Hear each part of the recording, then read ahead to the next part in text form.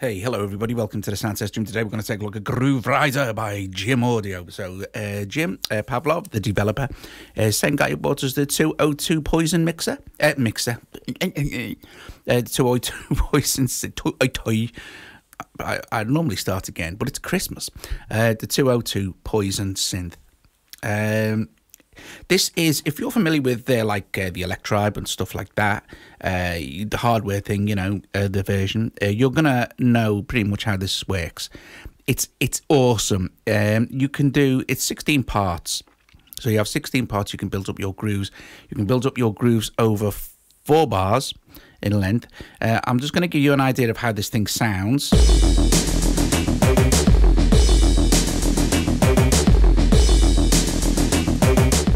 Okay, so while this is playing in the background there, uh, you can see that this one's obviously been programmed for two bars. Goes to two and then back again. Okay, so if we stop this, we can enter our enter here for our part 15 setting and we can if you notice here, all the parts will change. So these are the the, the, the, the, the, sounds that have been assigned to these different pads.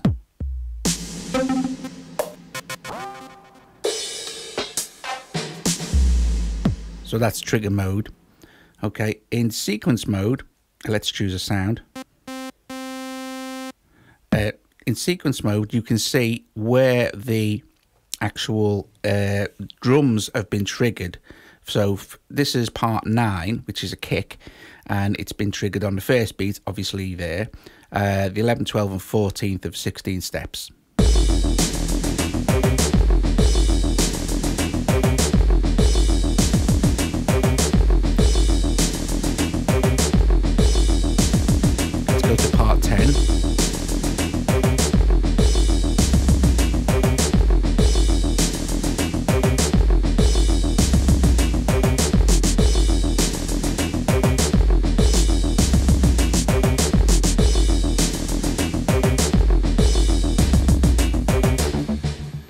Okay, so that's how you go to your sequence and then you can select your part here at any time you like and you you can always know that there'll be a red light over the part number that you're actually in the process of messing around with basically so we're messing around with the kick drum but if we want to trigger say the synth we could go to sequence now and we could see that the synth is triggered on 9 10 and um 13 and 14.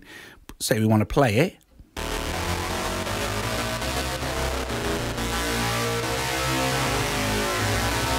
For programming wise, we want to we want to up the pitch a bit there.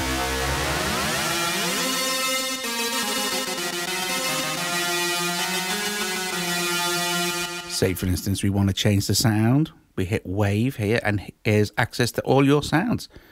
So at the moment, this is an oscillator. Now you can see there are tons and tons of oscillators and you do have control over those oscillators. You have modulators, you have effects, you have your envelope.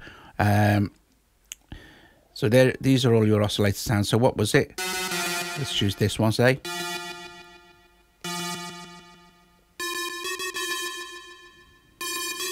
Let's turn the effect off. Not that one, that's motion.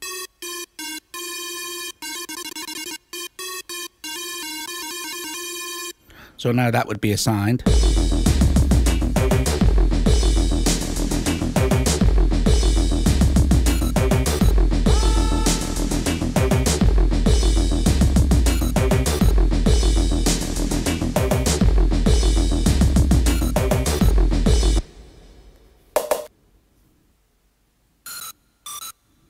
And that's been assigned to that oscillator section there in the mixer.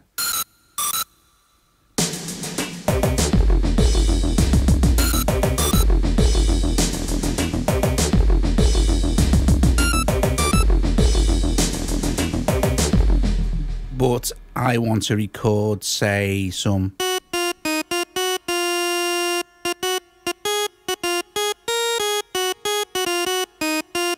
Well, I can, I'll, I'll enter it step sequence style, or I can just uh, hit this.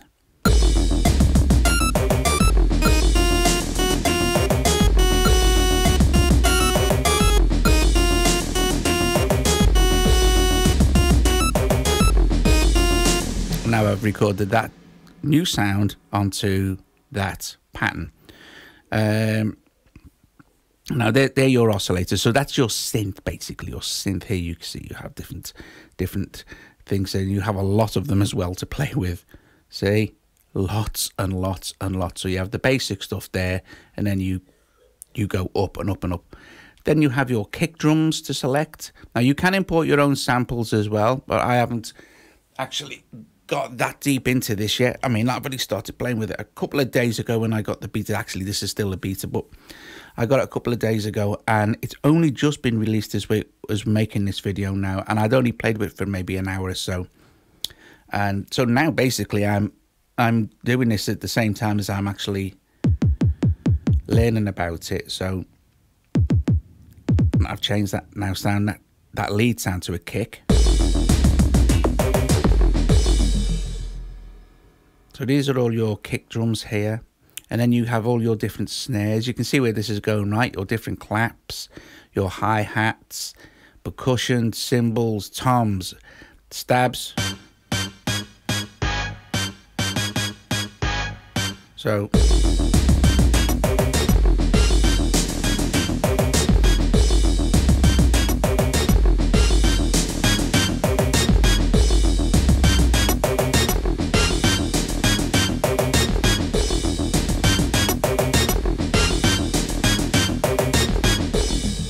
I know this looks involved, and it is, but that's good because this is the kind of app that you really, really want to dig into. Okay, so now I'm not sure about export options and stuff like that. Um, it's basically a standalone thing, I think.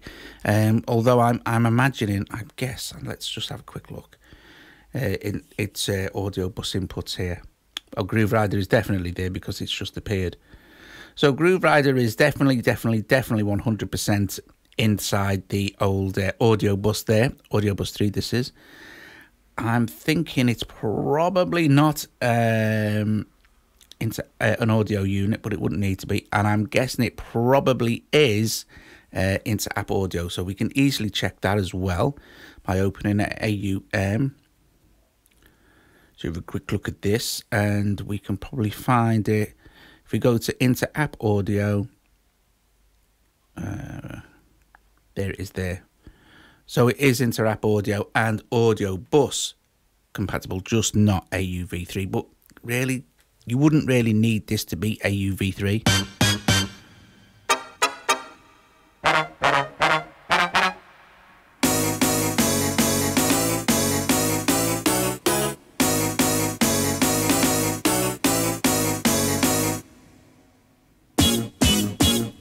See it's very, very cool. And then we have. Bass, bass, bass, bass, bass, bass, bass, bass, bass, bass, bass. Come on. Come on. Come on. No, come on. Come on. No, you come on. Come on. No, yeah, I don't want it. Come on. No, you come on. Come on. God, no, you come on. Come on. Come on. Come on. No, come on. Come on. Come on. Come on. Come on. Come on. Do it. Do it. No, you do it. Do it. No, no, you do, do it. it. I will. Get it. Get it. Did you get it? I don't. Get it. Get it. Give it up. Give you up. Hit it. I will. Jam. Jam. Jam. Jam.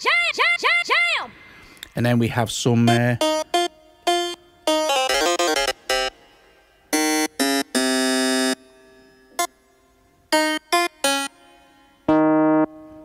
Let's drop pitch down a little bit there. Don't forget I was pitched up on my oscillators.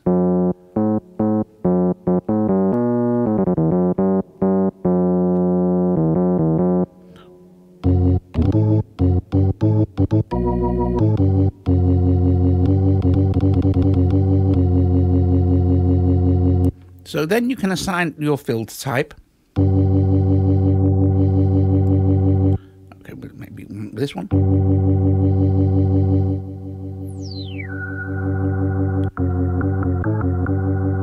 And then we can assign our, our modulator type here. So you can see you have tons and tons and tons of options. So this is why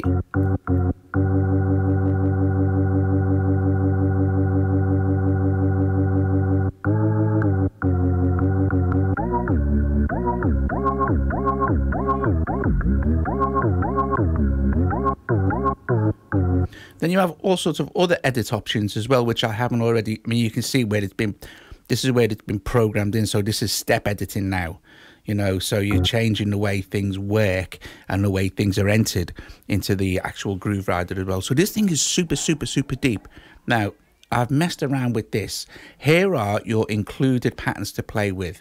Okay, this is one I set up about two minutes ago before I started the video. Going over two bars.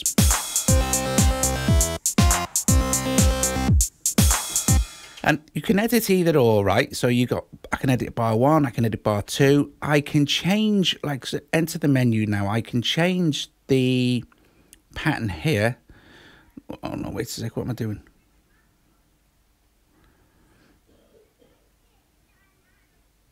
Let me change it to four bars here. It looks like, hang on a minute, I know. I, let me exit, I'm, I've gone off my initial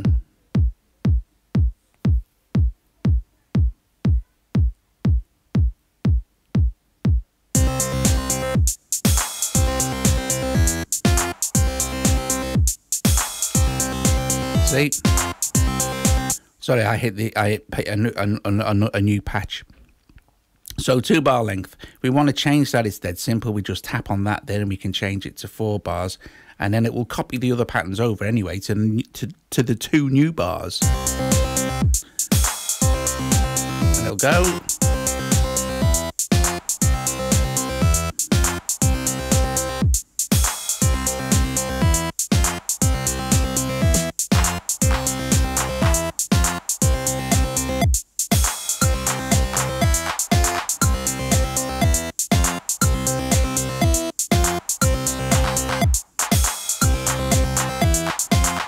So that was a mixture of entering steps manually and recording steps at the same time. Okay, so um, let's see what else. What else? You can kind of see how this works. I want to. I'll show you the. Um, if we exit that as well and go back to a proper, proper one that Jim has set up. Start this. So we can hear. If we want to hear what uh, is being used, all we need to do is go to trigger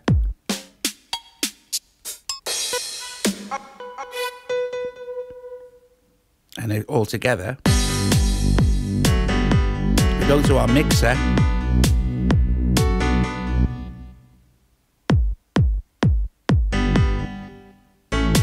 And you can see some have already been muted out. We can put them back in.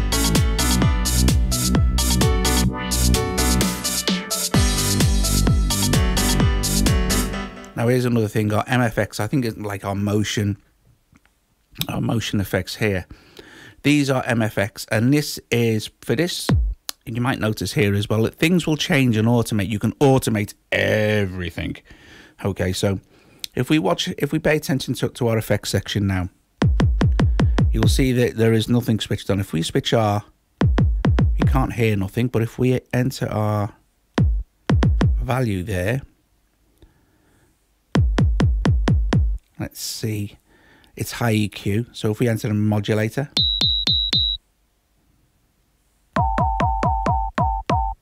decimator, and you can have a different effect for every single one. See, so if I if I'm looking at type now, you can see all the different insert effects that have been applied to those different sounds we don't really need. Let's put a punch on there. Make quite nice. Now, this, the motion effects. If we select um, the type here, you can see that we have all sorts of different very cool motion effects. Now, if I change the touchpad to this, which is stereo delay, and we play the track.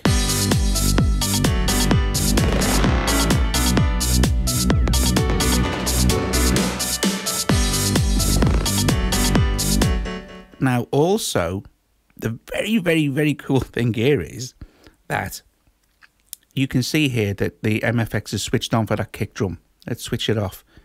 but it's still switched on for the snare. But let's switch it off for the snare. And let's switch it off for that as well. And make sure it's on for all the instrument sounds, which is 1 to 8. So now when I use the touch controller, the actual drum pattern won't be affected whatsoever.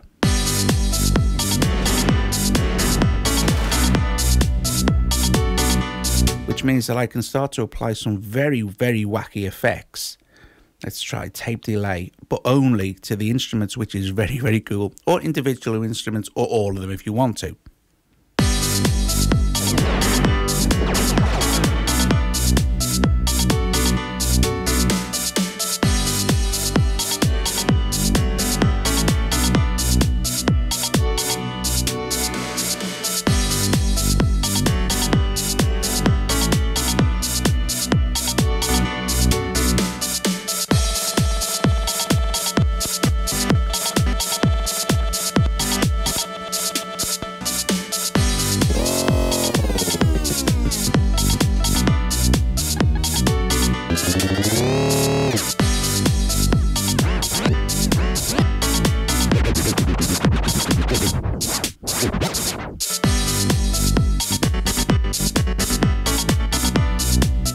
Way your effects aren't getting completely overridden.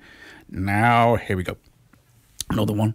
On the mixer section here, you will see there is a send effect. Okay, so send effects are, is global. It's one effect and it's global to them all. Okay, so to access your send effects, let's just get rid of this here.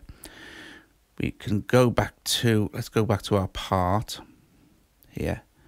And somewhere here, pattern, uh, dun, dun, dun. Somewhere here, you can see it's send effect is 202, it's reverb there. Now, I can't remember now what to do. To change the send effect, I think you just tap on it. Yeah, there you go. And um, we can change it to room. Okay. And...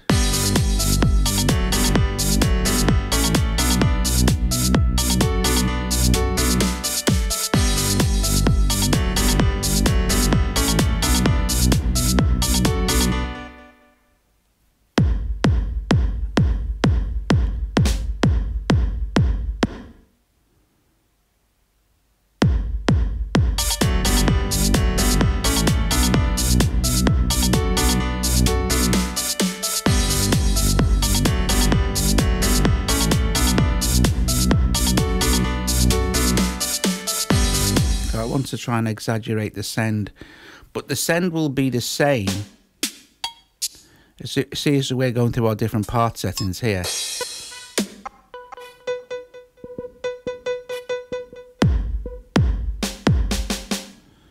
Our send effect will be um, here. If you watch here as I scroll through the parts, send effects room. So you can always see what effect is being used. Excuse me. Um, so if we go into enter again and we just uh, choose our send effects, we can... And of course we can individually adjust the send effect for every single part. I mean, there's no way in this one video. So that would be flanging on all the sends.